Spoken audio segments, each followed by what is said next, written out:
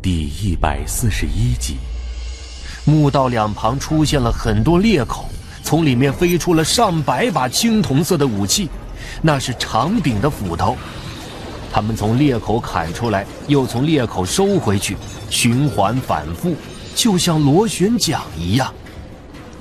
周芳听的脑袋被砍掉了三分之一，他躺在地上一动不动，只有血在呼呼的往外冒。就在于斯呆愣的片刻，又有一把斧头砍在了他的腿上，他没有任何反应。无疑，已经死了。于斯的大脑里冒出了两个字：福。斧。罗宋卷和黄哈哈也跑过来，他们看着眼前的一幕，都僵住了。吴瑜看着地上的周芳听，眼泪开始啪嗒啪嗒的往下掉。张回也慢腾腾的走了过来，他朝里看了看，并没有什么表情。没有人说话。于斯早就忘了那只鸡雏，他自己走过来了，用小嘴一下下啄着于斯的鞋子。于斯低头看了看，把它拿起来，对吴瑜说。对不起，吴瑜擦了擦眼泪，弱弱的问了罗宋卷一句：“还能还能抢救吗？”罗宋卷一脸悲怆，没说话。他当然知道周芳听已经死了，就算还有一口气，他们也不敢走过去。就算走过去把他拖回来，也必须马上送到医院抢救。可他们根本出不去呀！黄哈哈直截了当的说：“没戏了。”吴瑜哇的一声哭出来。黄哈哈轻轻抱住了他，他软软的靠在黄哈哈的身上，哭着说：“是我错了。”是我错了。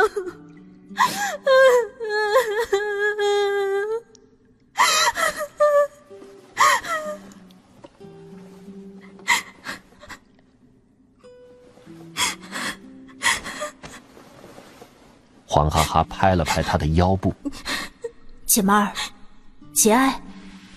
斧头机关还在快速旋转着，就像一个暴怒的盲人。找不到敌人在哪儿，但一直没有停止对着空气砍伐。大家就那么呆愣愣的看着他发飙，只有吴余一直在哭。大概三分钟之后，斧头几乎同时停止了转动，慢慢收回了墓壁内。接着，那些裂口纷纷合闭，四周一下安静下来，吴余的抽噎声更清晰了。罗松卷说。吴瑜，你去找件他的衣服，我给他盖上。吴瑜没搭腔，还是哭。罗松卷走到刚才吃饭的地方，拎起了周芳听和吴瑜的包，回来，从里面掏出一件白色长袖 T 恤，拿在了手上，然后把两个包都背在了自己的身上。吴瑜突然对张回吼起来：“你不是有秘籍吗？你为什么不告诉他这里有危险？”张回面无表情地说：“秘籍上没提过这嘎达呀。”吴瑜突然朝里冲去，黄哈哈手疾眼快，一把拽住了他。“你干啥？”他哭着喊起来。“我去看看他呀！”黄哈哈牢牢的拽着他，不容置疑的说：“你不能去。”罗宋卷对于斯说：“把你的望远镜给我。”于斯把望远镜掏出来，并没有给他，而是举起来自己看了看。虽然光线昏暗，但他还是看到了那一横。他放下望远镜，说：“就这个福字。”罗宋卷问吴瑜了：“刚才他跑进去的时候踩在啥地方了？”吴瑜还在抹眼泪。悲伤的摇了摇头。你好好想想。吴宇恼怒的说：“我都没看他的脚，我怎么会记得？罗宋卷很耐心，为了你自己，也为了大家，你必须好好想想。如果他没有踩到机关上，那些马战斧就不会冒出来。吴宇呆呆的看着墓道里的周芳听，还是摇脑袋。他根本没心情回想那些事了。于斯问罗宋卷：“你说什么？”我在问吴虞：“你说什么斧？马战斧？你怎么知道他们叫马战斧？我听评书里讲过，长平的斧头叫马战斧。”这个罗宋卷对铃木了如指掌，如数家珍。于斯再次对他产生了怀疑。罗宋卷突然说：“哎，我去试试。”黄哈哈说：“你找死吗？没有退路了，过不了这一关，我们同样会被困死。”停了停，他又补充说：“我尽量不要踩笔画，也许是对的。”说完，他拎着 T 恤就走进了墓道。于斯觉得。他什么都知道，他在装。吴鱼突然说话了：“你等一下。”罗宋卷吓得缩了下脖子，立即停下，回头看过来。我想起来了，他好像踩在了那块石板上，斧头才出现的。哪块？吴宇比划了半天，大家才知道，他说的位置。大概在口字附近。罗宋卷说：“你确定吗？”吴瑜没说话，显然他不确定。黄哈哈说：“既然符和祸只差一横，我估计那一横就是机关。”第一百四十二集，符和祸只差一横。罗宋卷想了想，点点头，然后接着朝里走去。于斯再次举起望远镜，聚焦在了他的两只脚上。于斯必须牢牢记住他走过的路线。如果他活着过去，那就是大家的安全通道；如果他死了，那就是前车之鉴。罗宋卷避开笔画，慢慢朝前试探，成功的走到了口字的位置。大家好像都不敢呼吸了，吴语也不哭了。周芳汀就躺在那儿，他的脸朝上，好像正在端详着穹顶，已经看不见他的身体在流血了。罗宋卷低头看了他一会儿，然后把那件长袖 T 恤慢慢盖在了他的脸上。接着，他又朝前迈步了。于斯死死盯着他的脚。望远镜也在微微抖动。罗宋卷终于站在了福字最上面那一横跟前，他果断的跳了过去。随着他双脚落地，于斯的心哆嗦了一下。没事儿。他落地之后背朝着大家，半天没有回过身来，似乎在做深呼吸。终于，他转过身来，朝着大家喊。看清了吗？于斯伸手摆了个 OK，然后转头对大家说：“我看清了，我在前面走，我踩在哪儿，后面的人就踩在哪儿。”说完，他就迈步了。手上的鸡雏突然开始挣扎，并且叫起来，虽然叫声很弱，却表明他在反抗。于斯这才意识到，把他攥得太紧了，其实他是太紧张了。当大家走过周芳汀尸体的时候，吴瑜似乎想停下，被黄哈哈拽住了。他厉声说：“不许停，赶紧走！”吴瑜踉跄了一下，把于四吓了一跳。如果他只看周芳汀，导致踩错了地方，那所有人都完蛋了。还好，斧头没有出现。大家终于来到了安全地带，前面不远处出现了两盏长明灯。他们好像是希望。周芳汀永远留在了墓道里。吴瑜朝他看过去，眼泪又流下来。上海妞，走了。吴瑜突然怒气冲冲地说：“可怎么办？能咋办？不能把他扔在这里不管呀！你还想背上他？吴瑜的嘴巴张了张，卡壳了。不管是谁，包括我，死了就死了，没办法。说到这儿，他拽了拽吴瑜的手。这陵墓里空气奇特，他躺在这儿也好，能永存。想看他的话，等到秦陵发掘那天吧。吴瑜还是不动。黄哈哈松开了他的手。你再不走，我们把你扔在这儿了啊！罗宋卷也走过来，说：“吴瑜，走吧。一个人活着啥最重要？答案只有两个字：活着。眼下，我们首先要保证自己活着。”吴瑜终于离开了。走出不远，他又回头看了看盖衣服的周芳听一眼。毕竟刚刚失去一个队友，所有人都不说话。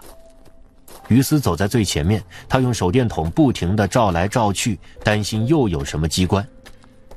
吴瑜突然又哭出来，没人劝了，劝是没用的。他哭着说：“都可不该来的，都怪我脑子坏掉了。”没人接话。他又说：“他在医院上班好好的，我非逼他跟领导请假。他妈妈生病，他刚刚请过假。他说年终奖肯定没了。他央求我，能不能等到明年？”还是没人接话。他突然蹲下去，哭得更厉害了。是我害死了他呀！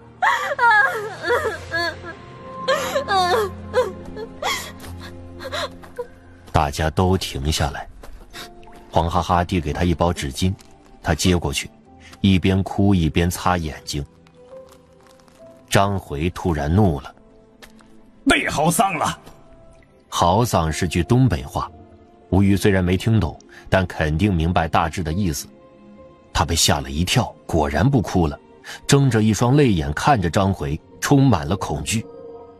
这个女孩刚刚经历了生离死别，张回的这声断喝太不近人情了。墓道里一下变得特别安静。黄哈哈白了张回一眼：“她刚刚失去男朋友，哭会怎么了？”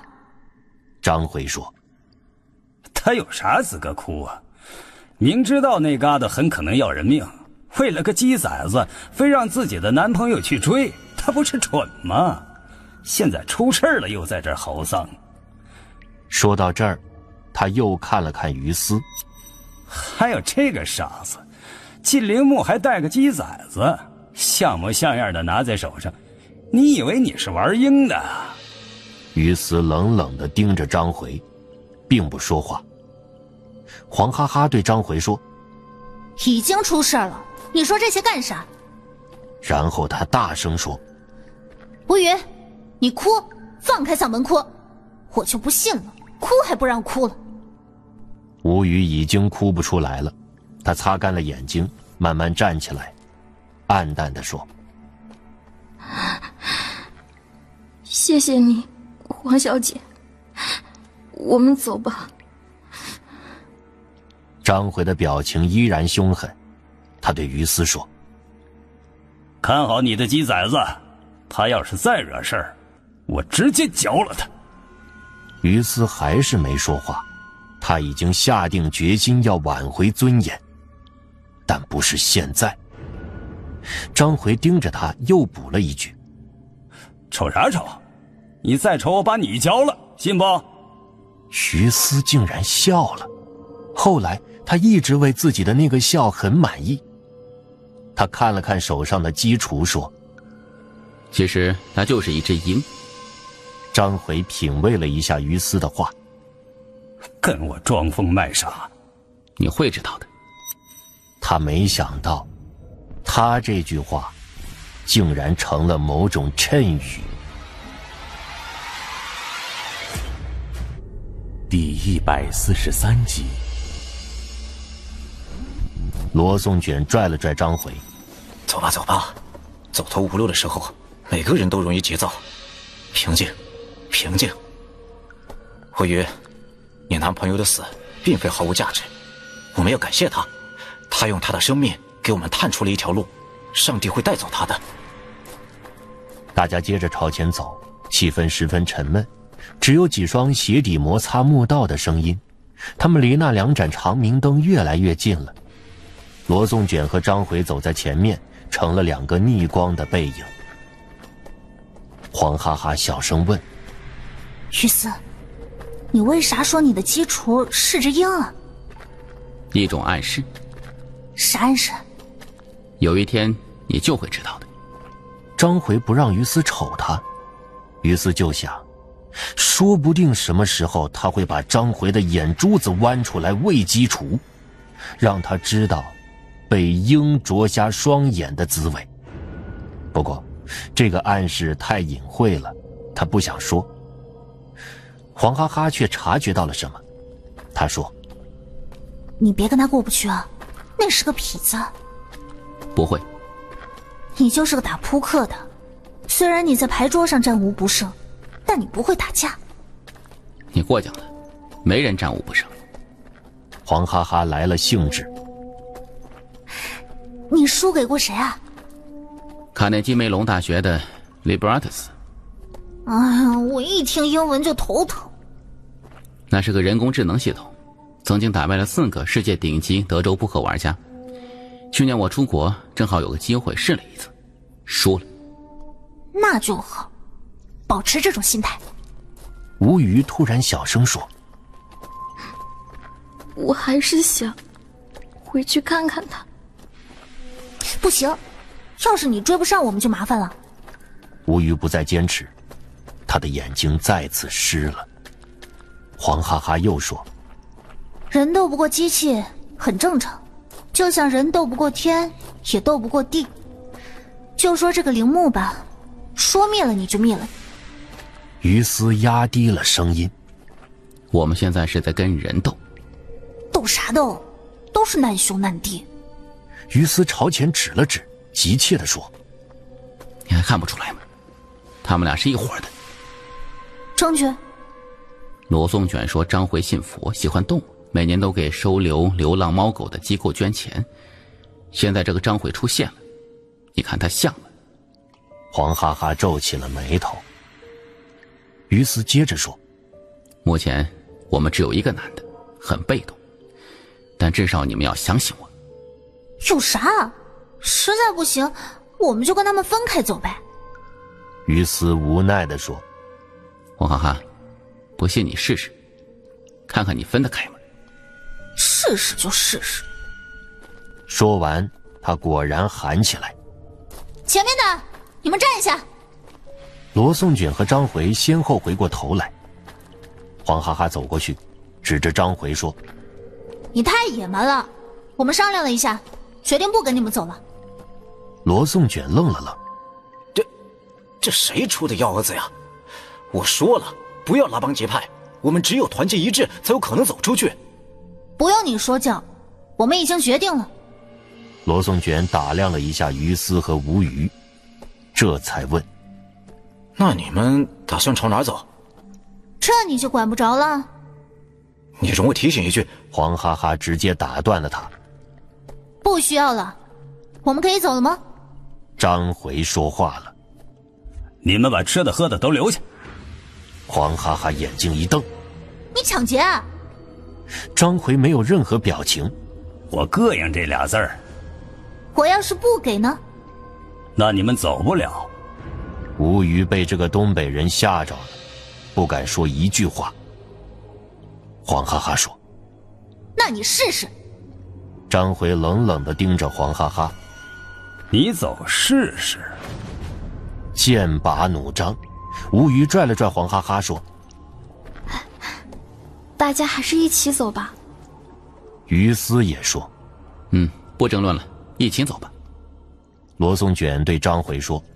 分歧解除，走了。张回却没有迈步。他对于思、黄哈哈和吴虞说：“你们走前面。”黄哈哈很轻蔑地瞪了张回一眼，大步朝前走了。于斯和吴虞跟上来，走出一段路，于斯才低声说：“看看，他们是不会放我们走的。找个机会，我靠了他。这家伙是吃生米长大的，就算你靠上他也没用。这类人我见多了。”吴虞停了下来，于斯朝前看去。这条漫长的墓道终于走到头了，有一条台阶朝上伸去，很窄，只能通过一个人。于斯用手电筒照了照台阶，布满了尘土，应该没问题。他拉住了吴虞，自己先上去了。爬上十一层台阶，他从一个长方形的洞口冒出来。他爬上去，四周是一圈夯土矮墙，高度齐腰。朝外面看去是个很大的空间，就像第一层和第二层地宫。天光幽暗，但依稀能看见大概的轮廓。那是密匝匝的房舍。于斯爬到了矮墙上，打算登高望远。矮墙夯得非常结实，他跳上去之后竟然没掉一粒土。黄哈哈在下面喊：“啥情况？你言传一声啊！”于斯没理他。他被眼前的环境惊呆了。这是一座用泥土烧制的城，只不过是缩小版。很多角落点着长明灯，在火光的映照中，有的区域亮，有的区域暗，更像是一座鬼城。于斯看到了街道、房舍、远处的王宫，还有三三两两的人。他们似乎在光天化日下正常生活，突然天就黑了，他们也随之定格了。这应该是泥塑的古咸阳。此时，于斯正置身于一户平民家的后院，他刚刚爬出来的地方是一个方方正正的石头箱子，上面有个长方形的窟窿，宽度大约三十公分。他用手电筒朝旁边照了照。石头箱子对面有个石槽，一侧有排水口。夯土矮墙的出口处挂着个木牌，上面写着一个字：“清。”黄哈哈也爬了出来。于斯从矮墙上跳下来，低声说：“我们进城了。”黄哈哈四下看了看，大声问：“这是啥地方？”于斯对他嘘了一声。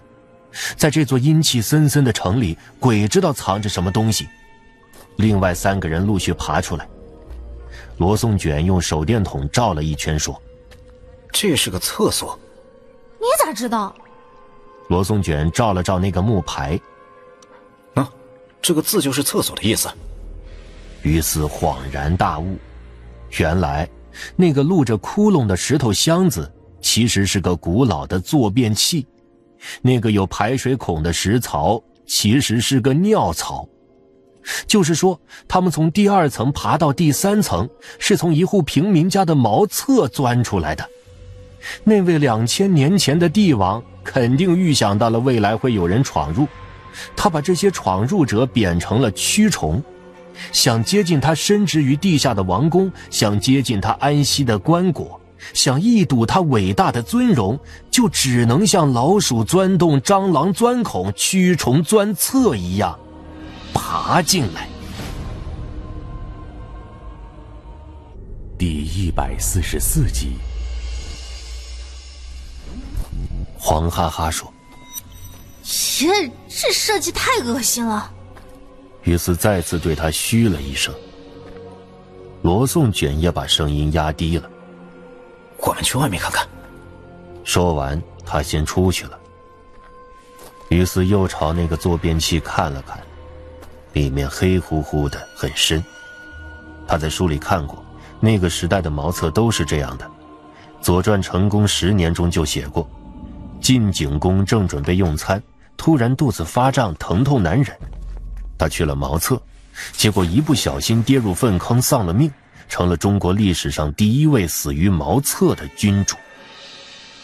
茅厕旁边还有一道矮墙，里面有两只泥土烧制的猪，它们一大一小，一花一白，看上去形态丑拙，非常可爱。他们脚下横着一个厚墩墩的石槽。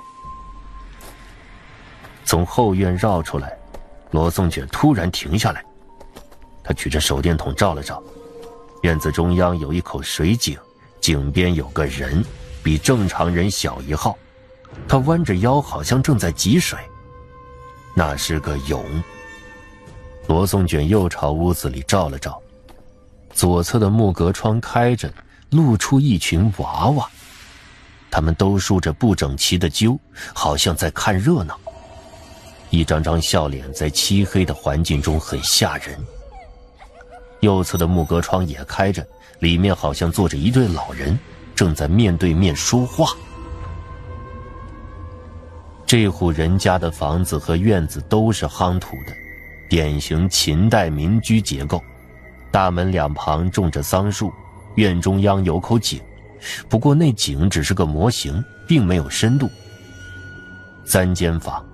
按照秦代的说法，正中是大堂，西侧是西旁内，东侧是东旁内，院子一角有仓。大家走出大门，外面是一条里巷，夯土路面很平整，隐约还有窄窄的车辙。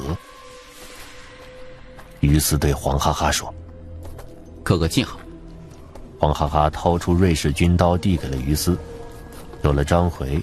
他好像不再那么戒备于斯了。于斯在这户人家的门框上刻了个“这”字，然后说：“等我一下。”说完，他就走进了相邻的那户人家。院子里没人，看不到那种像人又不是人的泥俑，反而让人更心虚。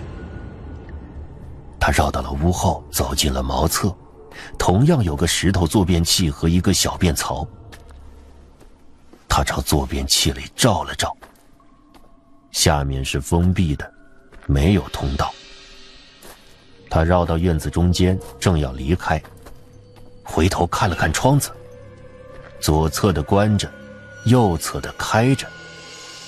他有些好奇，慢慢走了进去。虽然屋子里的摆件比较简单，但依然能看到当时的生活迹象。堂屋正中摆着桌椅。虽然是古咸阳城里，但墙上却挂着斗笠和几件古老的农具。那些农具的造型有些奇特，不知道干什么用的。他走进了左侧的屋子，里面是两间，外间是厨房，有锅灶、柴火和米缸；里间是卧室，炕上有两个女人叠在一起，似乎正在恩爱。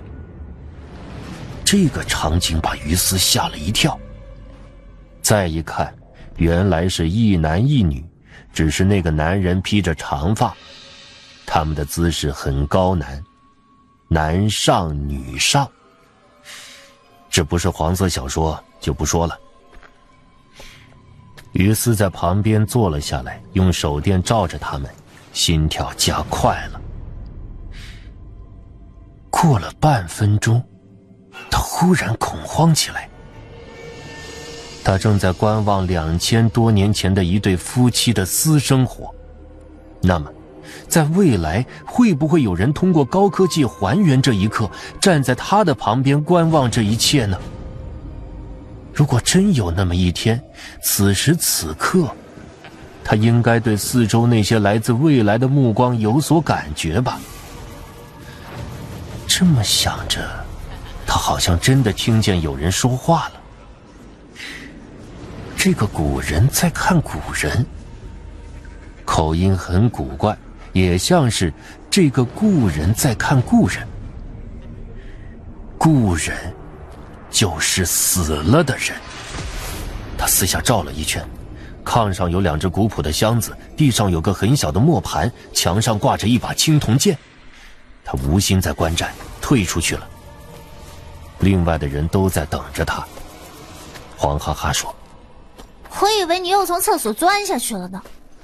于斯没说话，他跳过一家，又走进了一户人家。他在抽查。三个小孩站在桑树下，一个大点的小孩刚刚爬上去，好像要去摘桑葚。于斯绕到后院，这户人家有个马厩，离厕所比较远，一个男主人模样的秦代汉子正在给马喂草。于斯走进厕所，朝坐便器里照了照，里面没有通道。他基本明白了，从第二层地宫来到第三层地宫只有一个入口，这个入口就藏在某一户百姓家的茅坑内。他绕过那几个小孩，走出来，对大家说：“除了我们钻出来的那个地方，所有厕所都是实体的。”罗宋卷说：“嗯，于斯心细，这个信息很重要。谢谢，我们走了。”自从周芳听死了之后，吴瑜就很少说话了。他在悲痛欲绝的时候，曾经依靠黄哈哈，毕竟那是除了他唯一的女孩。但其实他对黄哈哈并不亲近。现在，他一个人踽踽独行，离黄哈哈远远的。于斯走在最后面，一边走，一边观察四周。这是一片居民区，两旁都是房舍。于斯依次朝院门看进去，里面结构各不相同，都有人生活，有的在扫院子。有的在纺线，有的蹲在门口吃着面。于斯真的就像回到了秦朝，他甚至真的听到一些百姓用远古音在交谈，还闻到了每户人家不同的饭菜味儿。实际上，整座城一片死寂，没有任何烟火气，只有一股坟墓的烟尘味儿。第一百四十五集。每个院子至少燃着一盏长明灯，似乎是专门用来照明的，就像某个典范村成了景点，从此失去了正常的生活。每个细节都是为了参观者准备的。于斯朝上看看，又是一重天，不过他并未发现一颗星星，顶部黑咕隆咚的，秦始皇就是这些百姓的天。没有人说话。自从张回出现之后，气氛变得越来越压抑了。大家慢慢朝前走，都很警惕。路上有三三两两的人在走动，有男有女，有老有少。男性一般穿着交领长衫，束着发髻，也有的戴着小帽或者扎着金子。女的一般都穿着粗布龟衣或襦裙。这些俑的表情各不相同。没有人会想到，秦始皇竟然在地宫里塑造了这么一座城，还移来了这么多的民。看来，他把咸阳城都搬到地下来了。他要在地下继续统治天下，只有军队没有人民怎么行？走出这片居民区，他来到了一条大道上。这里的人明显多起来，还陆续出现了马车，多数是普通畜力车，拉着木头、粮食或者蔬菜；有的马车上则是宽大的车厢挡着窗帘，看上去比较华丽。那应该是贵族的交通工具。于斯拉开一扇窗子朝里看了看，里面果然坐着一个人，穿着上衣下长的黑色大礼服，头上戴冠。目视正前方，表情肃穆。两旁立着很多店铺，挂着各种粗糙的招牌和幌子，写着小篆字：米、茶、酒、当、战、剑、药等等，还有些字于斯不认得。看来，这里是商业区了。商铺内有人在交易，在交谈。于斯甚至看见有个客人似乎跟店家争执了起来。脖粗脸红，一只手甚至抓住了腰间的长剑。就像秦朝的某一天，有人用一只巨大的多维度照相机把整座都城的所有细节都拍下来了，然后以这张照片为参照，无数工匠用泥土把它还原出来。走着走着，前面出现了一条河，河里用夯土塑成了流水的形态。波纹清晰可见，上面有一座石头小桥，写着“后凤桥”。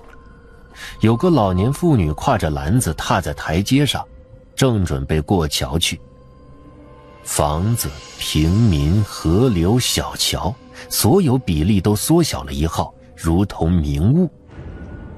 顺着河流的方向朝左看去，可以看见一座城中城，竟然有几分巍峨。罗宋卷停下来，后面的人都停下来。张回靠在小石桥上。掏出了一根烟，他旁边就燃着一盏长明灯，他把烟举到了火上，想把它点着，火太大了，烧掉了半根烟，他放在嘴上猛吸了两口，烟着了。罗松卷说：“这是古咸阳城。”不知道在问谁。黄哈哈对张回说：“东北乔四，你家秘籍咋说的？”张回继续抽烟，没搭理他。他又对于思说：“查查你那本《地宫探索宝典》。”不会有的。看看呗。吴余说话了，他问于思：“你把我的小鸡搞到哪里去了？”在包里。给我。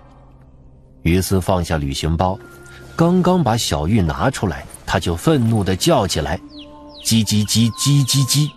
好像在抗议。说来也巧，旁边的一个店铺好像是卖禽类的，塑了一只芦花鸡，正在门口觅食。可能正是这只芦花鸡让吴宇想起了小玉。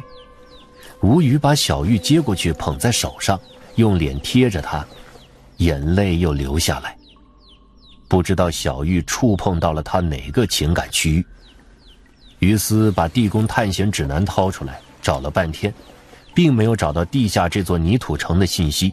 不过书上提到了古咸阳的布局。古咸阳的遗址位于今天咸阳市东面大约十五公里的地方。秦孝公十二年（公元前三五零）开始修建，然后由岳阳迁都来到了这里。惠文王时代扩建了这座城。秦始皇登基之后。他每灭掉一国，就会模仿该国的宫室，在城内建一座相同的宫室，由此有了六国宫。直到项羽杀入咸阳，烧了这些宫室，咸阳就变成了废墟。作为秦都，咸阳存在了一百四十四年，它有一百万人口，是当时最大的城市。不过，考古人员经过多次勘探。并没有发现古咸阳的城墙地基。有人说，周边的山就是它天然的城墙。为何从古咸阳穿过，在城内又分成了一些支流？为了保证王宫用水，还开凿了一条古渠，直通王宫的蓝池。因此，古咸阳遍布很多石桥，但名字都已经不可考。有一座城中城。那就是王宫了。当时西方是尊贵的象征，所以王宫在西，之外是大城，大城是百姓的居住区，在东。还有个说法，王宫是南北走向，为经线，正对着天上的紫薇园；为何是东西走向，为纬线，正对着天上的银河？在古咸阳的北部。在中轴线附近有一组宫殿建筑，它坐落在秦代上元古道的东西两侧，一座天桥横空跨越古道，把两侧的宫殿连成了一体，简直是个奇观。于是，在王宫的方向果然看到了一组建于高处的宫殿，也看到了在半空中那个天桥，专业名词叫阁道。很显然，这里就是古咸阳了，看上去。这座地下秦都显然没有那么多人，但于斯猜测至少有几百间房子，几千个平民有。另外，他还辨明了方向，左侧是西。虽然书上的信息都是从网上摘的，但在地下就显得太重要了。看来，任何虚拟的东西都是不可靠的，只要没了信号，一切都会烟消云散。只有纸质的东西。才是摸得着、看得见、用得上的。于斯把书塞进了旅行包。这里就是古咸阳。这么说，秦始皇的棺材应该就在这里了。在哪儿？肯定在王宫里啊。吴虞说话了。我们找秦始皇干什么？找出口才是要紧的呀。这里到处都是房子，都是井，都是库，都是排水渠，找出口谈何容易啊！于斯突然盯住了石桥上的那个老年妇女，他明明记着她的位置在桥下，停在第二个或者第三个台阶上，而现在，她已经移到桥上了。他趁大家说话的时候移动了。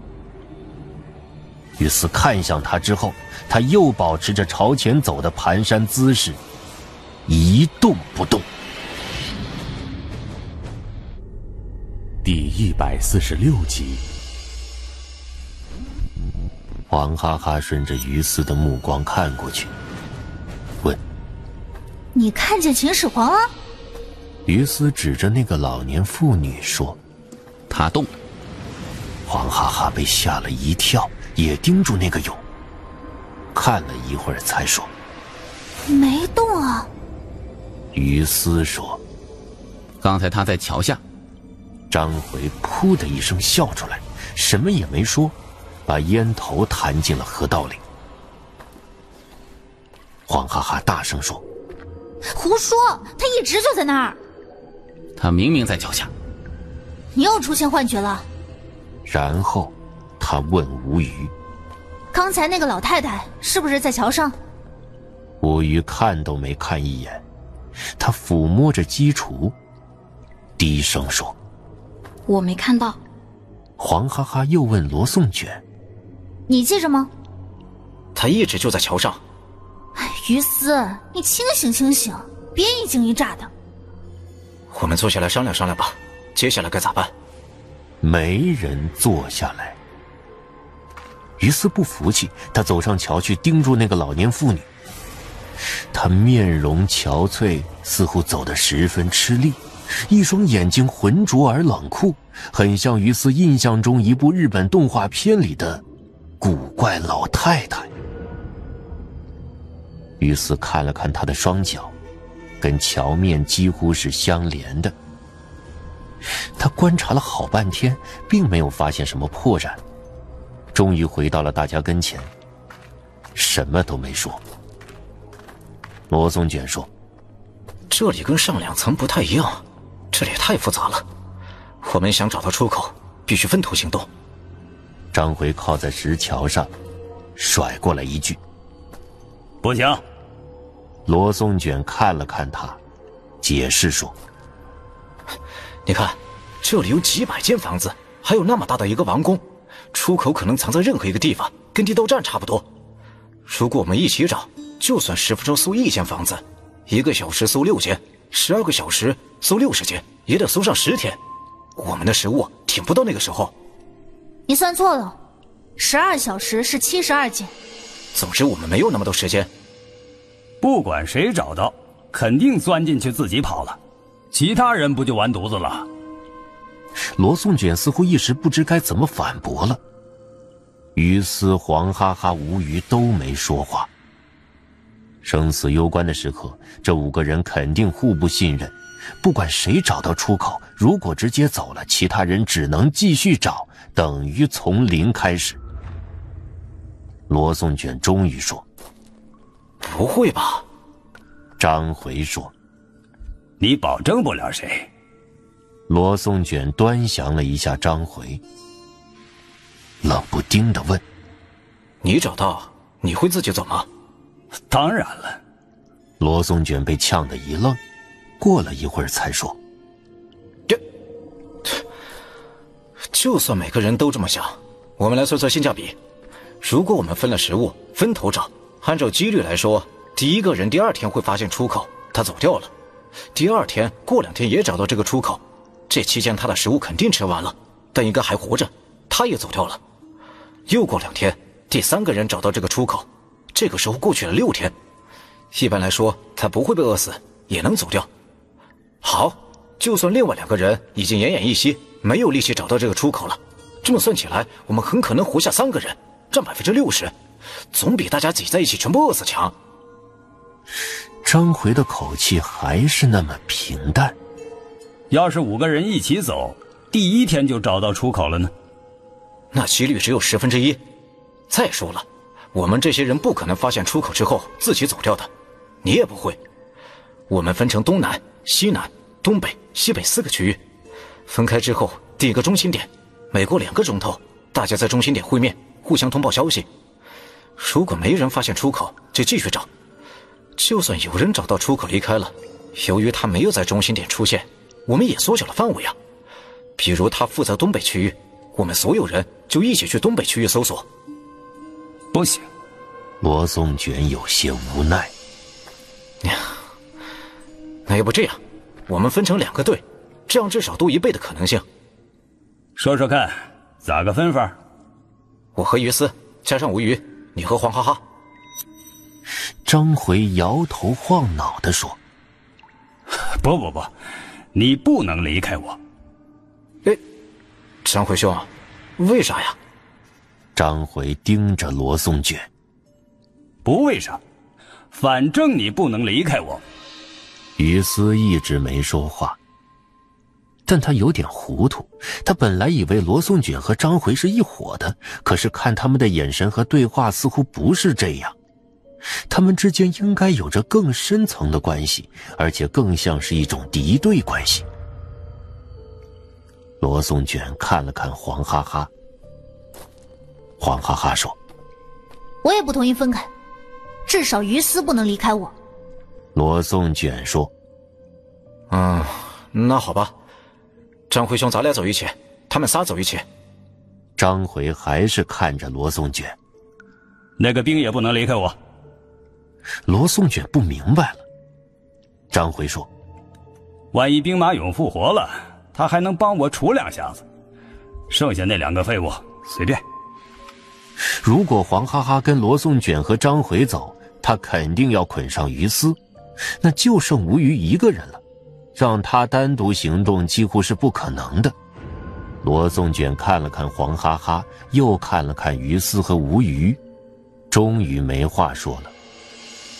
这个张回完全是在胡搅蛮缠，于斯看着他，心里又呈现出了剜他眼球的场景。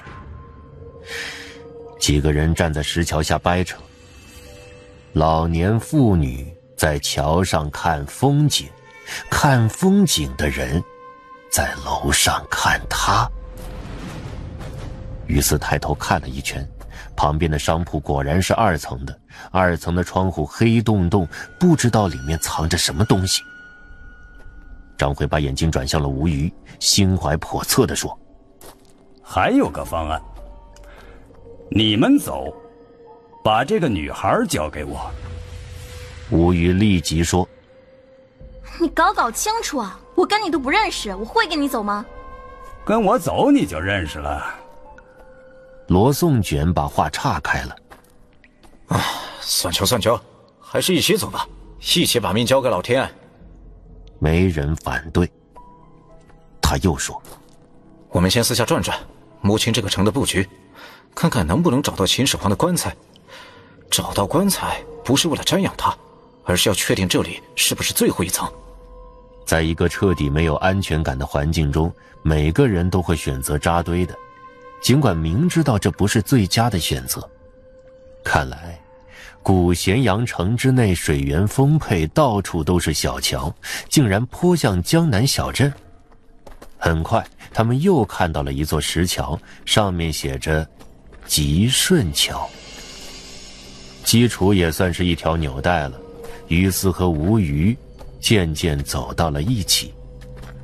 于斯从旅行包里掏出了那张害死徐兰雅的地图，又认真的看起来。他发现，地图上画的城郭和宫殿跟眼前这座古城很相似，不由对这张牛皮纸再次刮目相看了。他怀疑，这张地图上画了几层地宫，只不过作者把景物都落在了一起，而每一层的西北位置。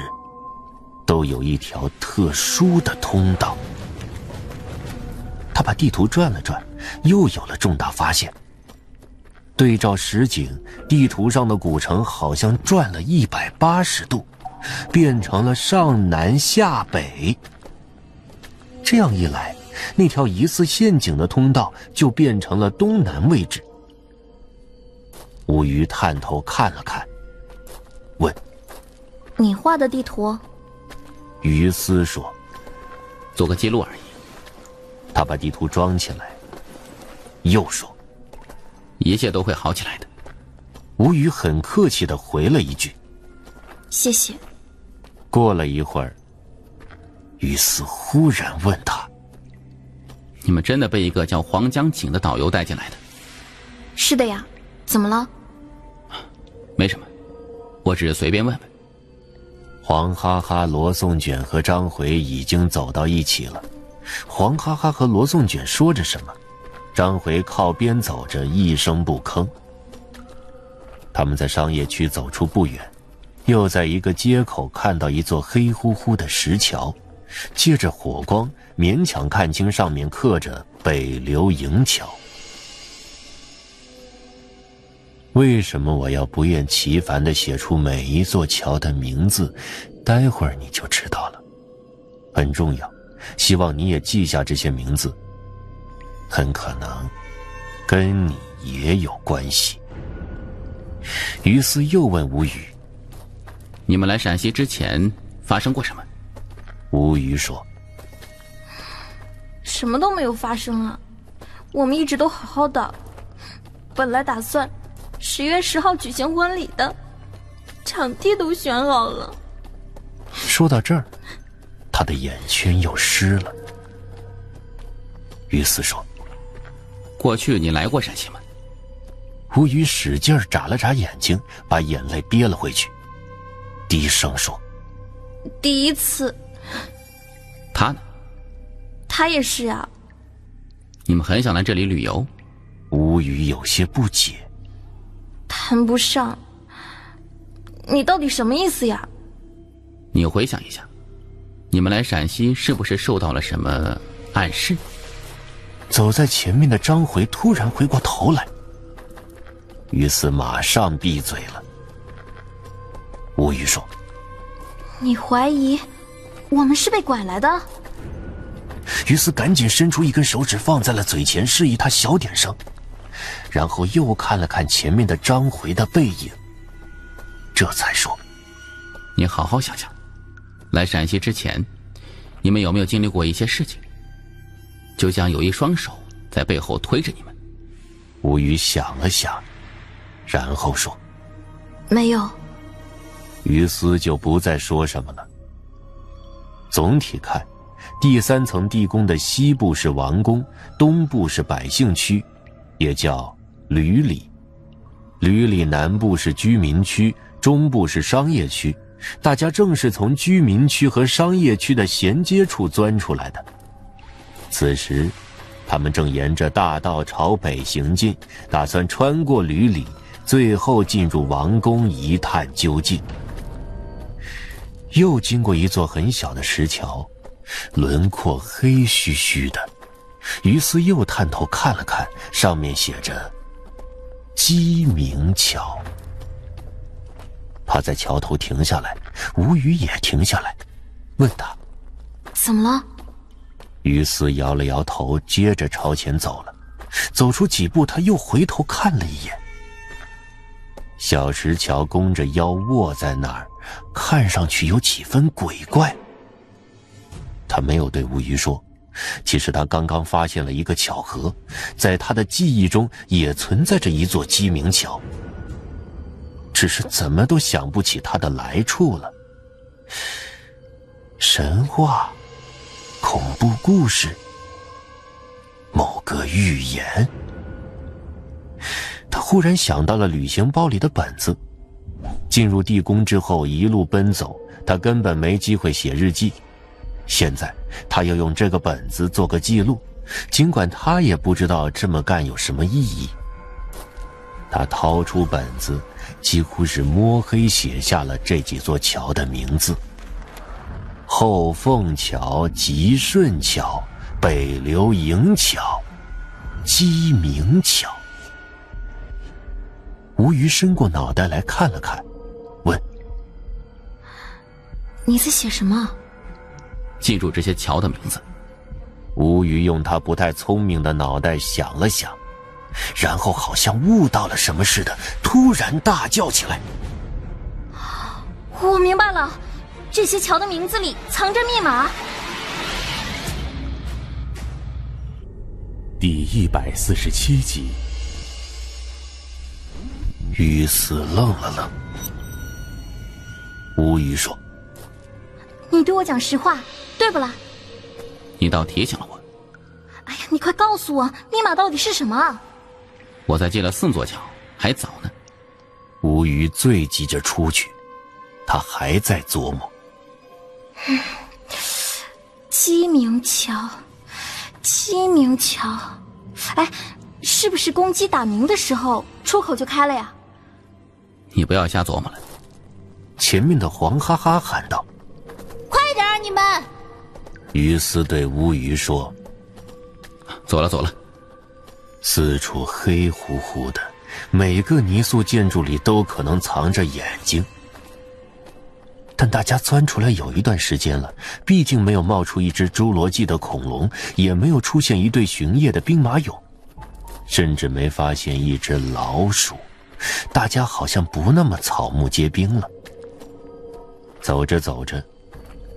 吴宇突然说：“我想起来了，确实不对头。”于斯看了看他：“你刚才问我是不是主动来陕西的，我一直都在想，越想越不对头。最近确实发生了一些事情，只是我没有把这些事情联系在一起。”于斯压低了声音说：“你慢慢说，小声点。从哪里讲？”从第一件不正常的事情，我不晓得哪一件才算第一件吗？好好，就从你的师傅开始说吧。嗯，我有个闺蜜，她给我介绍了一个大师。于斯插嘴问：“什么时候的事？”两年了吧。于斯赶紧制止：“从你师傅说你要转运开始。”哎呀，我这个师傅很厉害的，只要我现在呢把你的名字发给他。他马上就会用天眼看见你的长相、性格和命运，而且还可以用法力帮你做修改。我讲真话的，他只需要一个名字，神奇的不得了。说转运。一个星期前呢，他突然给我打了个电话，对我说：“你最近要转运了，但转机呢在地下。”于先生，你不晓得，最近我真的很背的，跟公司的合同到期了。他们提出的续约条件还非常的苛刻，那我就干脆辞掉好了。原定的几场时装秀也都泡汤了。说不正常的事情。不正常的事情，啊，我对杜克说我要转运了，他还不相信呢。他这个人很老实的，每天朝九晚五，发财只有一个途径，那就是等着领导给他加工资。我要他带我出来转转。本来我是想去桂林看溶洞的。这家伙不想请假，怎么都不同意。后来他给我出主意，让我租个地下室住一住，把我下巴都要气歪了。他又给我出主意说，让我玩一玩地下成语勇士。说到这儿，胡宇竟然笑了，脸上呈现出甜蜜的表情。我就跟他发脾气啊，他晓得的。我辞职之后心情很糟糕，最后却还是同意了，要带我去青岛潜水。我又气死的了，我跟他讲那是水下，不是地下。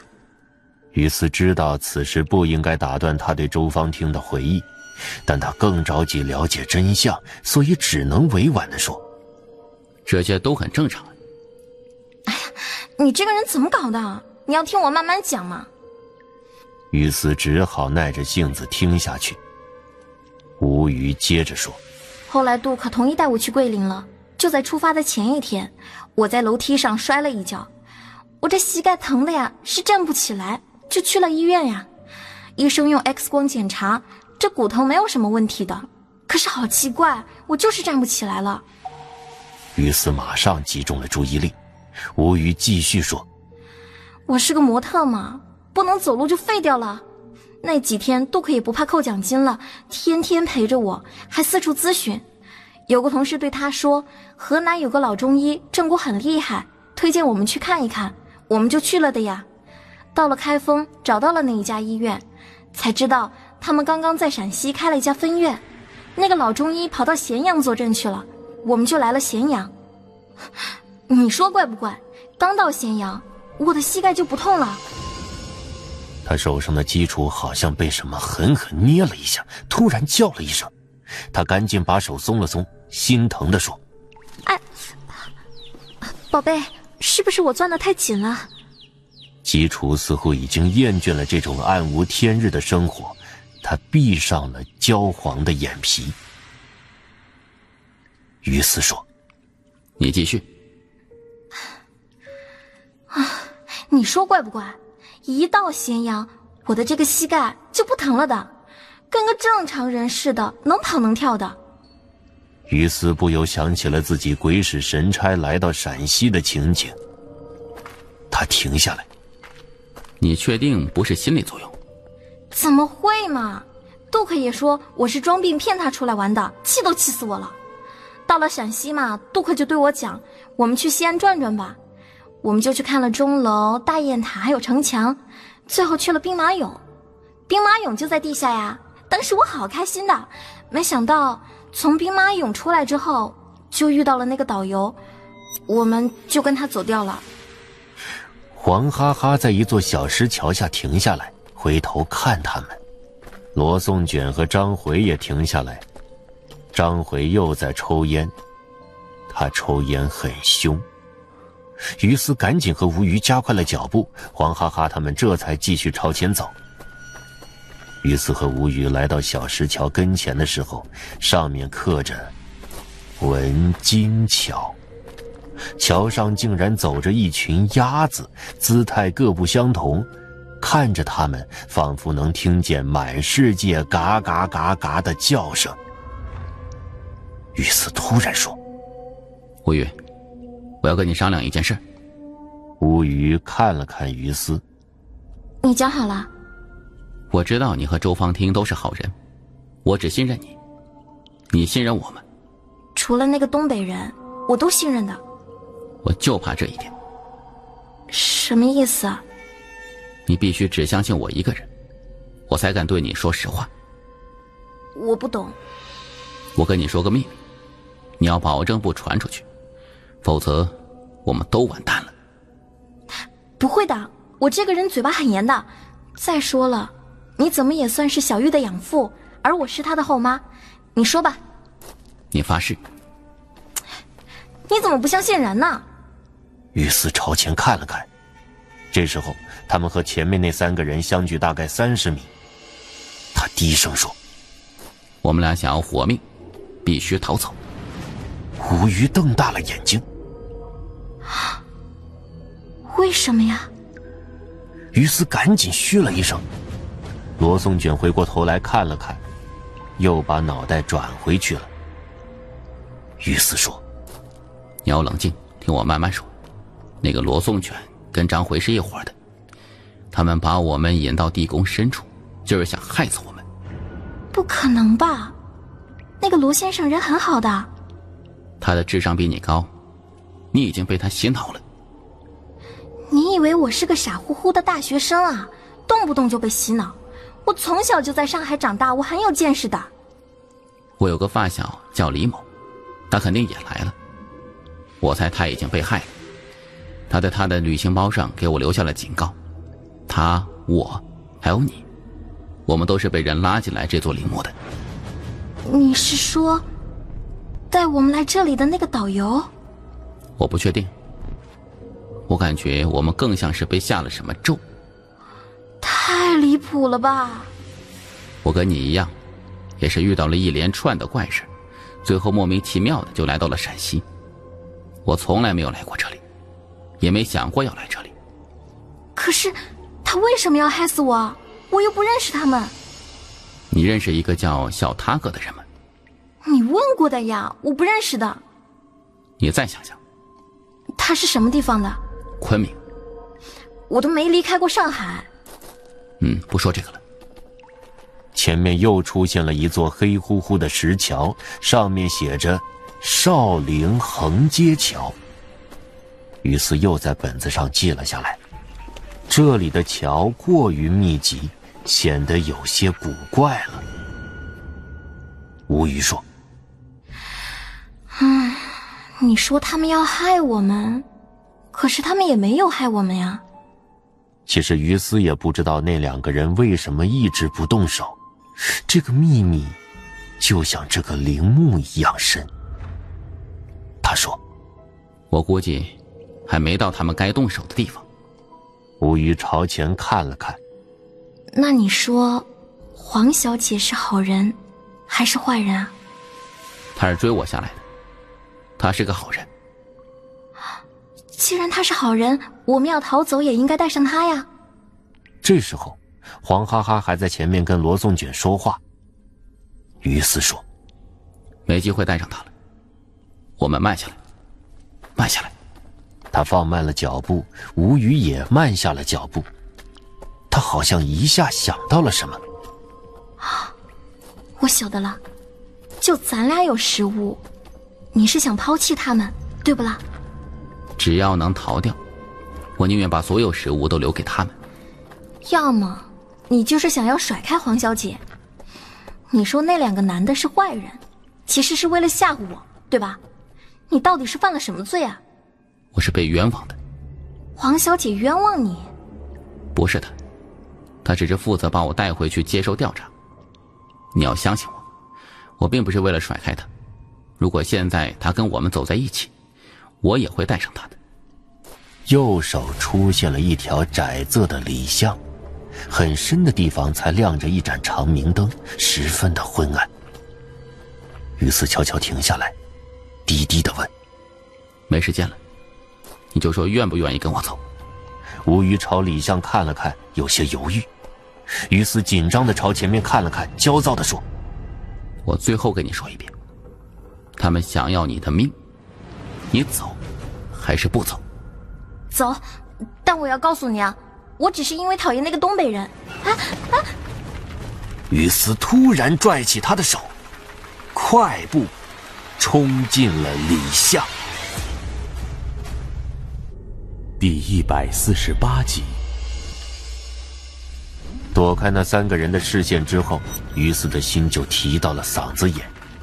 表面上大家还算是搭档，但是他带着乌鱼这么一藏，对方马上就知道他们已经知道对方是敌人了，双方等于摊牌了，暗斗立马变成了明斗。他可以一路装糊涂，但只要逃走就必须成功，不然会死得很难看。吴瑜倒不怎么紧张，他轻声说：“我们找个房子藏起来吧。”于斯夺过他手上的鸡雏，手忙脚乱地放进了自己的旅行包。跑，他们马上就会返回来，把我们消失的地方搜个遍。说完，他拽着吴瑜就朝东南的方向跑去。他要去找找，看看这一层会不会也有个特殊的出口。如果有，他会进去探探。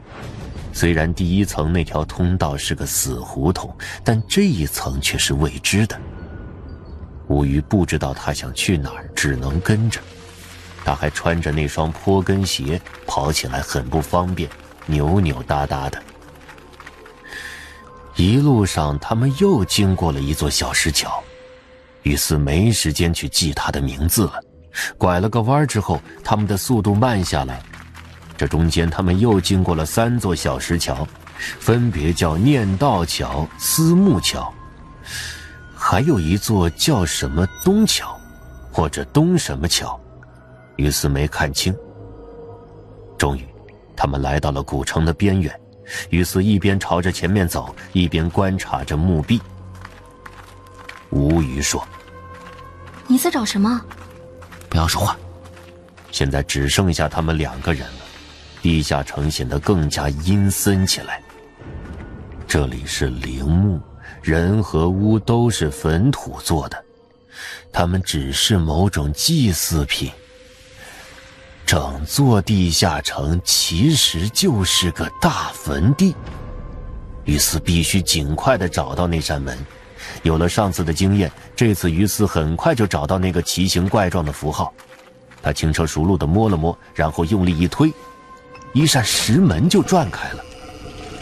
吴语大声说：“天，你有暗道啊！”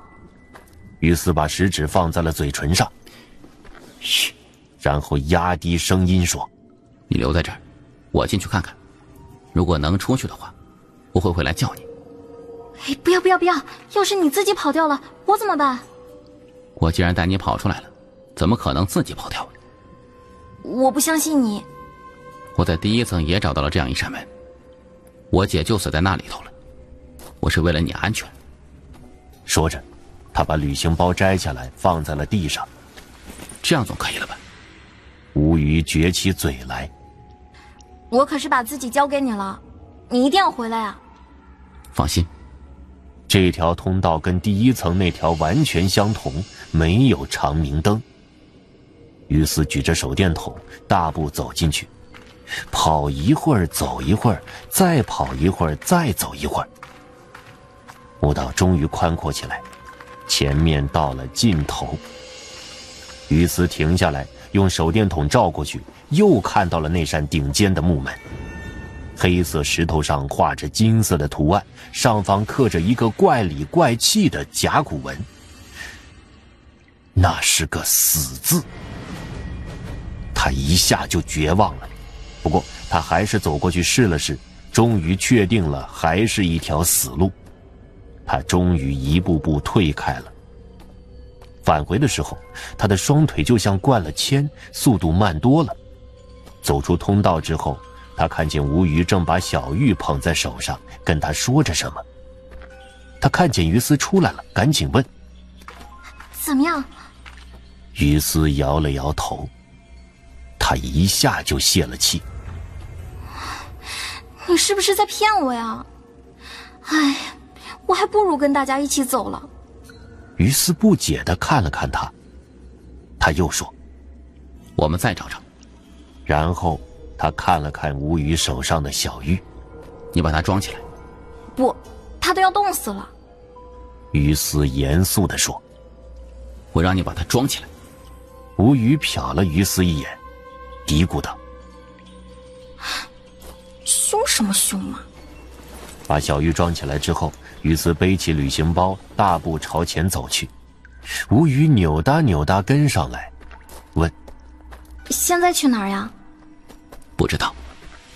两个人走进居民区，一边朝前走，一边四下查看，到处都是密匝匝的房舍，上哪儿找出口呢？啊，歇会儿吧，我的脚都要走出泡了。人家靠走台赚钞票呢，受伤了谁负责吗？说着说着，他突然闭嘴了。这时候，两个人刚刚从一个里巷走出来，前面突然挡住了一个人，他是罗宋卷。于是，一下就停了下来，跟吴瑜一起愣在了原地，就像捉迷藏被找到了。吴瑜忽然嘿嘿嘿的笑起来，罗宋卷也嘿嘿嘿的笑起来。于斯不知道哪根神经抽筋了，同样跟着嘿嘿嘿的笑起来。吴瑜突然跑过去，站在了罗宋卷旁边，回身指着于斯说：“是他非要带着我离开的。”于斯打死都想不通，这里的巷道错综复杂，他和吴宇怎么偏偏就和罗宋卷撞到一起了？只有一种可能，罗宋卷更熟悉地形。罗宋卷不笑了，他静静的看着于斯。好像在等待于斯做出解释。于斯把手伸向了口袋，悄悄的抓紧了电击器。现在就罗宋卷一个人，于斯决定电倒他，然后掉头继续跑。没想到，张回和黄哈哈也跑过来了。黄哈哈先说话了：“接着跑啊！”于斯把手从口袋里抽出来。慢慢走了过去。跑什么跑啊？我们迷路了。你当我是碎娃？张回冷冷的看了看吴瑜，吴语委屈的说：“他说你们都是坏人，想要害死我们，我很害怕，就和他一起跑掉了。”张回竟然从背后抽出了一把弯弯的杀猪刀，看上去寒光闪闪的，极其锋利。他竟然有一把杀猪刀！不但于思意外，罗宋卷好像也很意外，而黄哈哈和吴鱼都傻住了。张辉一步步走向了于思。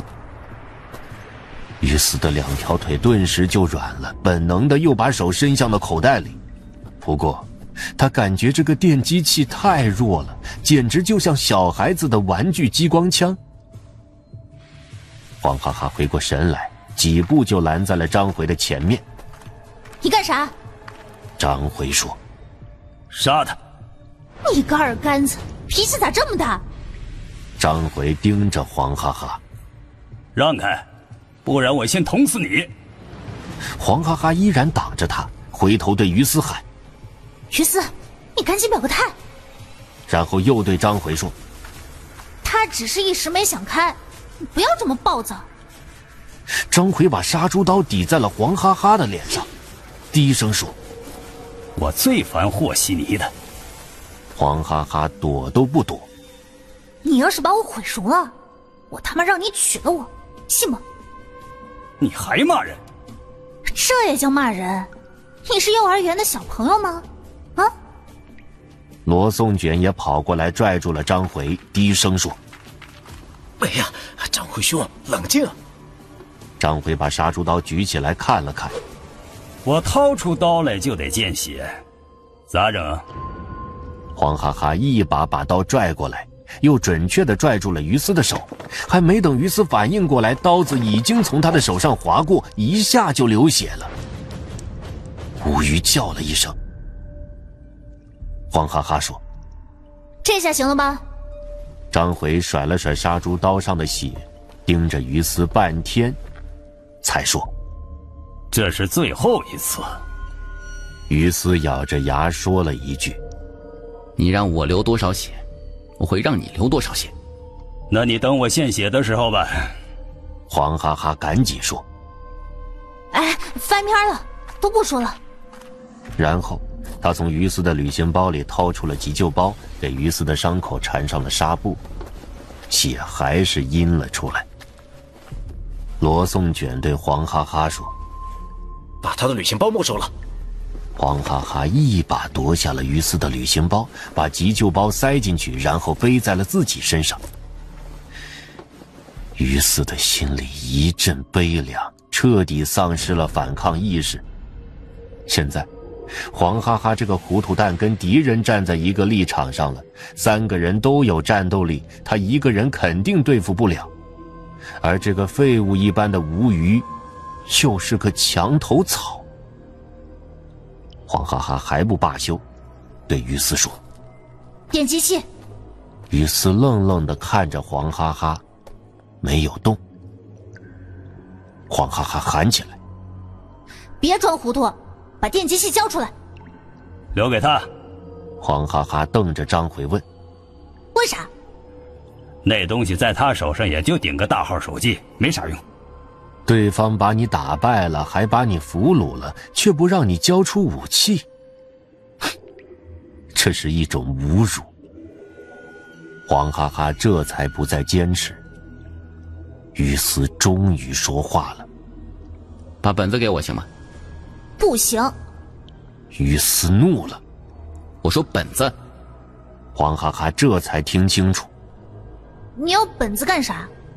写遗书总可以吧？”黄哈哈打开了旅行包，吴余趁机把鸡雏拿出来捧在了手中。黄哈哈掏出本子递给了于斯，罗宋卷心平气和地说：“于斯，现在大家生死与共，你不要再想着离开了，请相信我，这个团队里没有坏人。如果非说有，那只有吴余。”吴余愣愣地看了看罗宋卷，罗宋卷并不看他，继续对于斯说。我相信你是真的不信任我和张奎，你好心带他走，他却把你咬了出来。吴鱼辩解道：“不是这样子的。罗宋卷看了看他，轻轻的说：“你是个女孩子，胆子小，我理解，没骂他。赶紧走了，内耗。”于斯，你走前面。于斯没有说什么，大步朝前走去。他再次成了被押解的对象。第一百四十九集，五个人拐了个弯儿，竟然回到了最初的那条大道上。此时此刻，于斯在心里暗暗发狠了。大家总得睡觉，他要趁着大家睡觉的时候杀了罗宋卷。别看张奎横，于斯猜测罗宋卷才是头。擒贼先擒王。另外。黄哈哈和吴虞都不喜欢张回，但他们都信任罗宋卷，很难说服他们。在他们醒悟之前，必须先干掉这个巧舌如簧的人。虽然黄哈哈上蹿下跳，但他绝不是坏人。就算他不同意，生米已经做成了熟饭。那时候只剩下张回了，黄哈哈和吴虞都对他没有好印象，事态就会变成三对一。五个人走过一个个定格的泥人，前面又出现了一座小石桥，上面刻着“浣纱桥”。桥上有两个人，一个妇女朝东走，快下桥了；一个男人推着独轮车朝西走，刚到桥中央。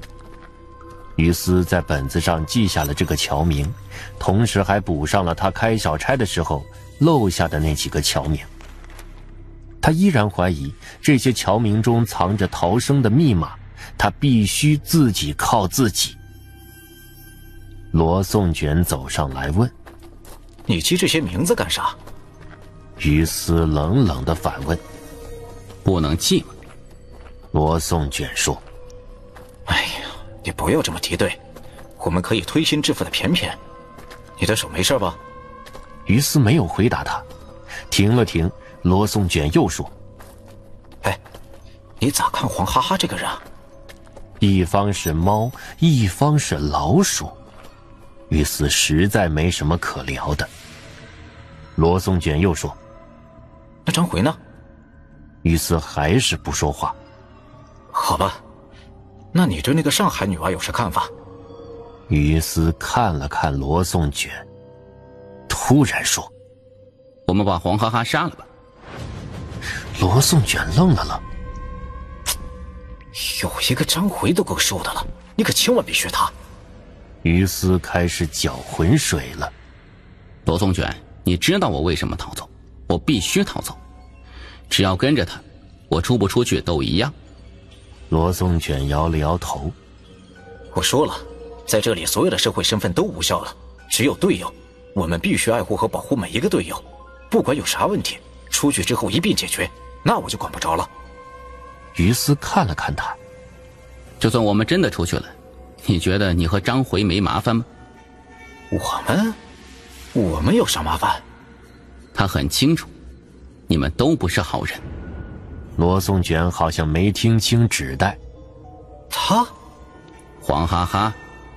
罗宋卷皱了皱眉，问：“为啥说我们不是好人呢？”于斯不想说话了。黄哈哈在后面喊道：“你俩嘀咕啥呢？”罗宋卷回头说：“哦，辽咸阳一个老中医。地上那个咸阳还是地下这个咸阳？”罗松卷朝上指了指。吴虞的思维很直线，他马上抬头朝上看了看，说：“啊，既然咸阳在上面，我们为什么一直朝下走呢？”罗宋卷停了下来。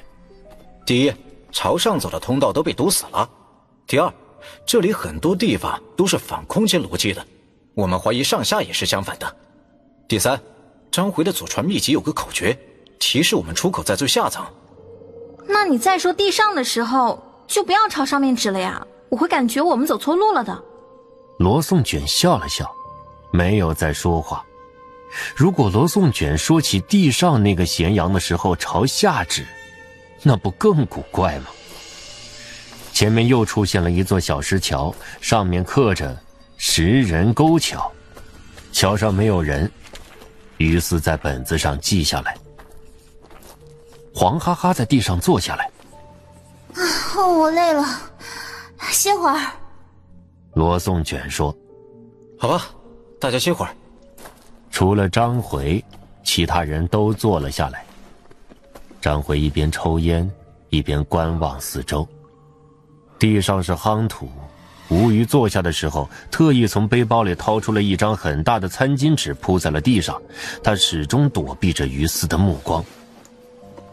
于斯靠着桥头坐着，谁都不理，只是静静的观看本子上那些奇怪的桥名，反复组合，终于没找到什么关联。大家一直沿着大道从南往北走，已经来到了中部地带。王宫在左侧。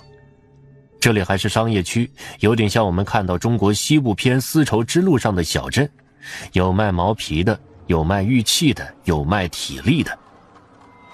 拐角处，一辆马车似乎撞到人了，一个老太太躺在几米远的街面上，表情痛苦。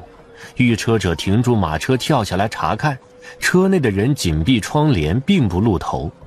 那匹马似乎事不关己，朝旁边看去。车前围了七八个人在看热闹。也许，从秦代就有碰瓷儿的了。这里貌似很繁华，很喧闹。于斯俨然回到了现实中。虽然这是两千多年前的现实，当他猛然意识到整座城里都是泥人的时候，他的心一下就失重了，回到了真正的现实中。这里是地下，是永远逃不出的陵墓。除了他们五个，没一个活人，而他们也仅仅是现在还活着。城市是有声音的，每时每刻，比如车声、人声、音乐声。就算最偏僻的农村也是有声音的，哪怕是黑天，狗叫、鸡鸣、胖子的鼾声。而这里没有一点声音，就像比古代更遥远的古代，比未来更遥远的未来。那时候，所有人类还没有出现，或者所有人类都消失了。黄哈哈突然说：“我恨死他！”没人知道他在说什么，也没人接话。过了会儿，罗宋卷才问：“谁？”黄哈哈没有正面回答，继续抱怨：“为啥让我从厕所钻出来？”“哼，如果有个出口，必须从某个厕所钻出去，我还是乐意的。”“嗯，我可以睡一会儿吗？”于斯的心怦然一动，他正盼着大家都睡着呢。黄哈哈说：“睡睡睡，我也困了。”说完。他从旅行包里掏出睡袋，扔给了吴瑜，自己直接躺在了地上，把旅行包当成了枕头。吴瑜低低的说了声：“啊，谢谢黄小姐。”然后他把鸡雏放进背包，小心的铺好睡袋，躺了下去。罗宋卷凑到了于斯旁边坐下来，他对张回说：“张回兄，你也睡会儿。”张回淡淡的说：“我站岗，这里没人。”张回看了看于思，他是人。于思理都不理他，他对黄哈哈说：“你把急救包给我枕枕。”黄哈哈已经快睡着了，他不耐烦的打开旅行包，闭着眼睛掏出急救包扔过来，然后又躺了下去。于斯枕着急救包躺在了地上。罗宋卷对张回说：“行吧，那辛苦你了，下次我站岗。”于斯要急救包是有目的的，电击器不会一下置人于死地，但于斯的口袋里有一把瑞士军刀，他要用这把小刀割碎罗宋卷的喉咙，到时候大家肯定会抢救，于斯必须控制纱布和创可贴之类的止血物品。黄哈哈突然想起了什么，哎，张回，我们在第二层看到了一个草绿色的背包，那是你的。于斯盯住了张回，这正是他想问的。张回淡淡的说：“是。”你为啥扔了他？张回很不配合的说：“我为啥不能扔了他？”你这人吃枪药了，睡觉睡觉。然后，他就闭上了眼睛。于斯想起了那张昆明西山区停车场的小票，他也问了一句：“你去过昆明？”张回看了看他，不能去。于斯就闭嘴了。他坚信，这个人在撒谎。罗宋卷就坐在于斯的旁边，这是天赐的机会。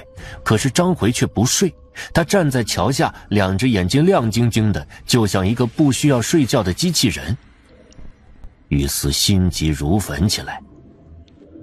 黄哈哈仰面朝上，嘴巴微微张着，已经睡着了。吴余背对着大家，侧身躺着，不知道他睡没睡着。于斯把脑袋靠在桥头上，微微眯缝着眼睛，偷偷盯着张回。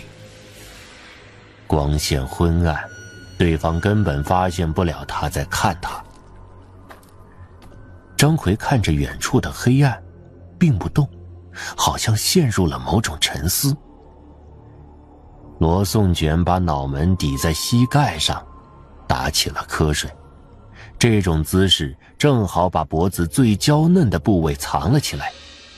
于斯需要走到他的背后，一只手拽着他的头发，把他的脑袋提起来，另一只手以飞快的速度滑下去。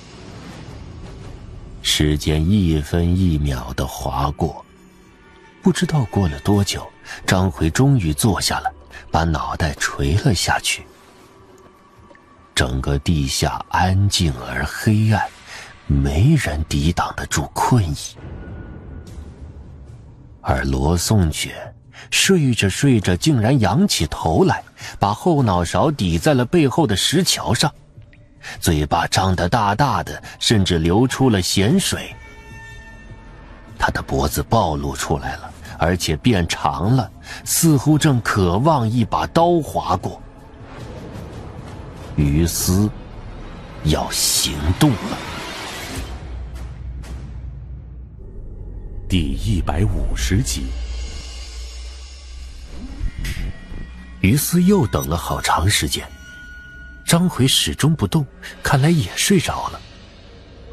于斯终于轻轻爬起来，他打开瑞士军刀，在手里捏弄了几下，找到了最稳实的抓握位置，然后蹑手蹑脚的朝罗宋卷走去。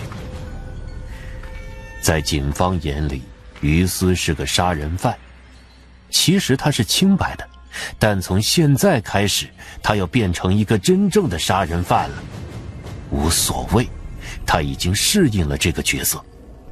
此时，不管是谁，只要有人醒了，他就前功尽弃了。比如黄哈哈，他怀揣愚蠢的正义感，若是发现于斯逼近罗宋卷，一定会冲上来阻止。比如吴余。他肯定投靠强大的一方，大喊大叫，拉响警报。张回就更不用说了，他不会叫，他会直接冲过来把于斯制服或者杀死。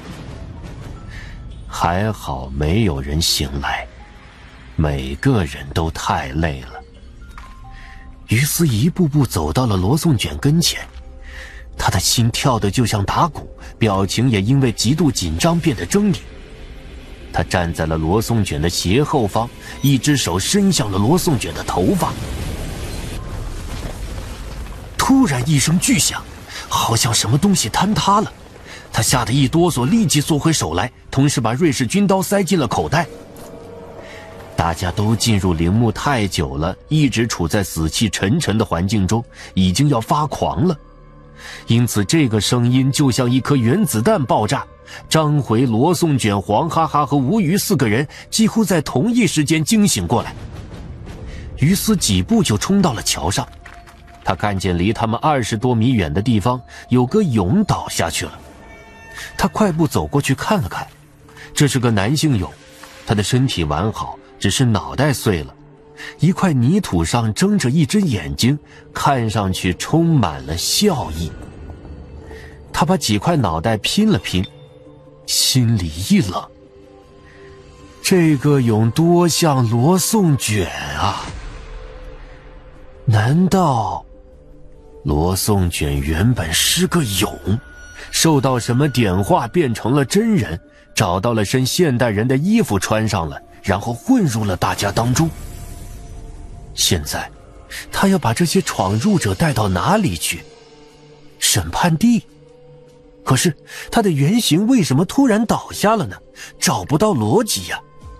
或者，这个俑类似某种巫术的偶人，他替代罗宋卷崩塌了，罗宋卷这才躲过了一劫。其他人都跑了过来，罗宋卷弯腰看了看，说：“走了。”接下来，于斯万念俱灰，回想从第一层到第三层地宫，江山有了，王宫有了。百官有了，军队有了，人民有了，女人有了，财富有了，该有的都有了。就是说，这一层很可能就是底了。既然到底，也就接近审判地了。前面又经过了一座石桥，上面刻着“大有方桥”。于斯掏出本子记上了。黄哈哈走到他的旁边，把旅行包摘下来说：“给你，累死我了。我不敢背了。有我在，你跑不了。”说完，他直接把旅行包挂在了于斯的肩上。你咋越来越蔫了？于斯把包背好，还是不搭理他。走出一段路之后，黄哈哈又说：“我跟你表白一下吧。”咱俩在那个石头迷宫里的时候，我还挺喜欢你的，不过就那一阵子。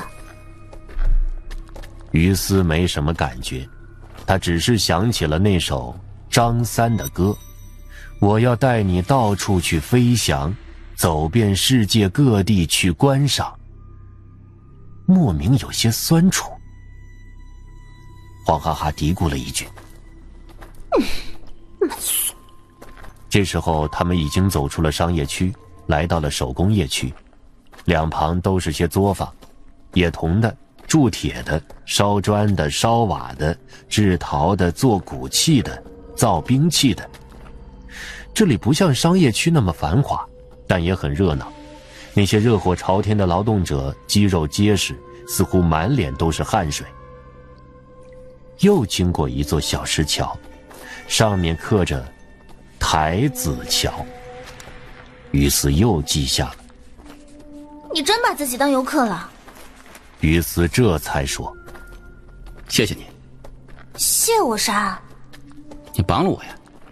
我啥时候帮你了？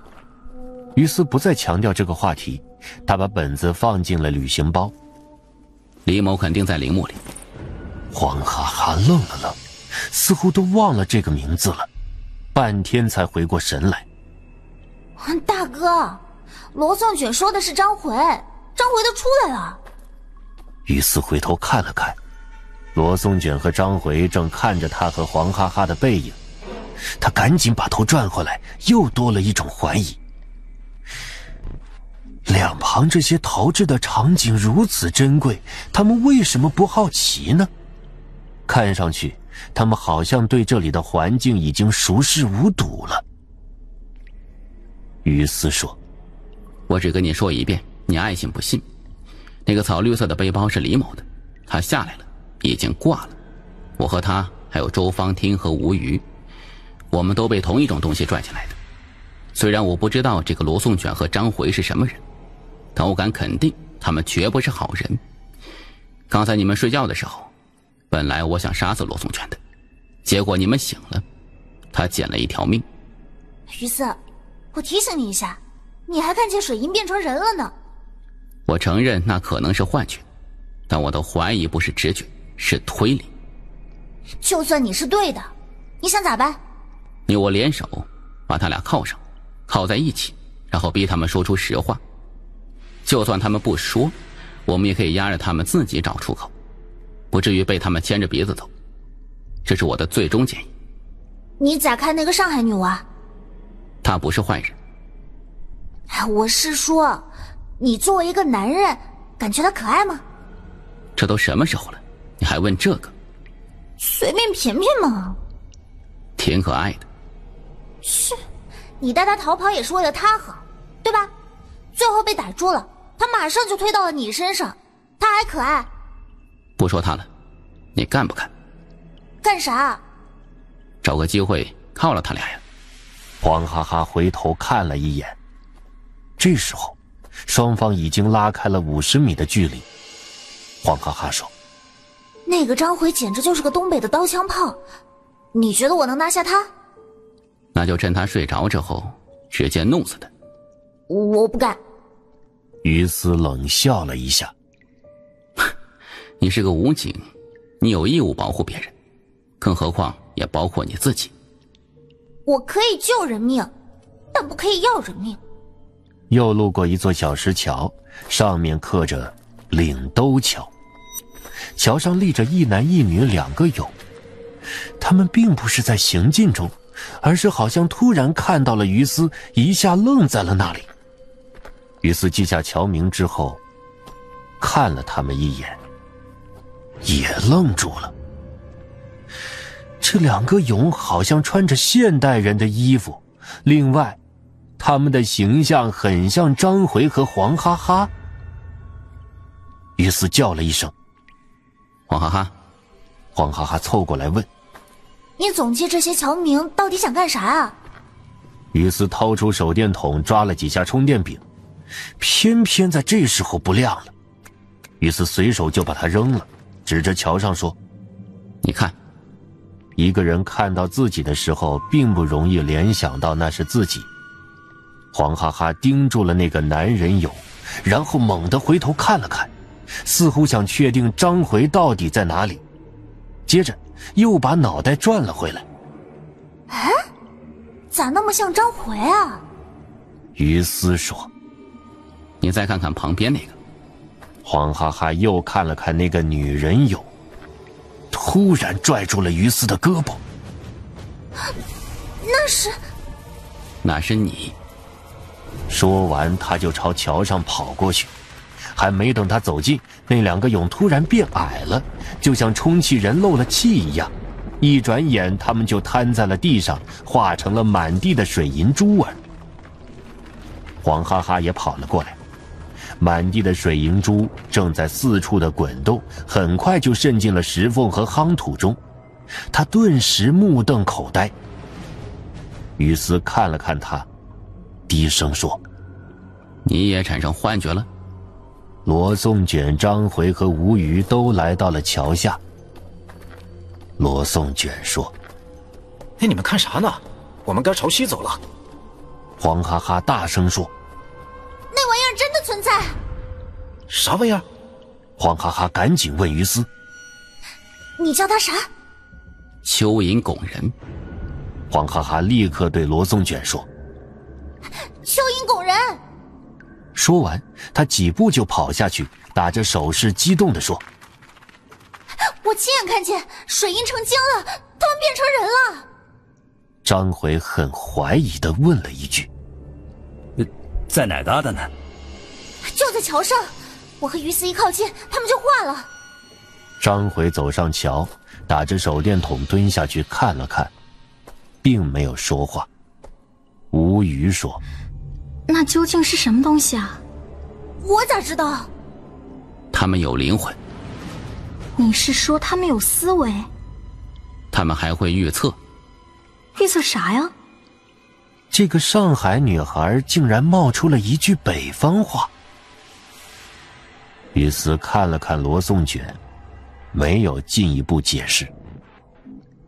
张回慢慢走下来，没那么邪乎，没那么邪乎，他们可以愉快的吃了你。他们有嘴吗？我很想见识一下。他们会动，这就够了。如果他们变成了你的样子，稍比你大一号，严严实实的罩住你，你走到哪儿，他们跟到哪儿，就等于是把你给吃了。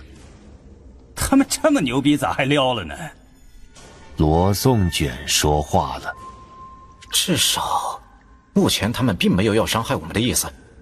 我们不能再耽搁了，赶紧去王宫吧。